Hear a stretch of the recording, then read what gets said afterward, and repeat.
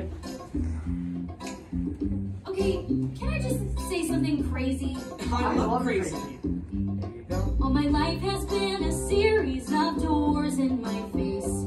And then suddenly I bump into you. I was thinking the same thing because like right. I've been searching Left, my whole life to Right, find my own place. Right. And maybe Okay, it's the party talking or the chocolate fondue. But with you,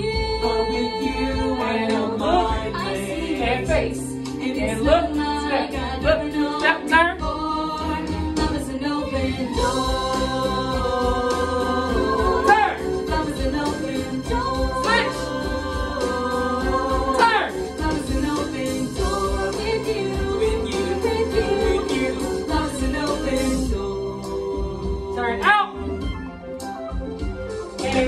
crazy. What? We finish each other's sandwiches. That's what I was gonna say. Okay.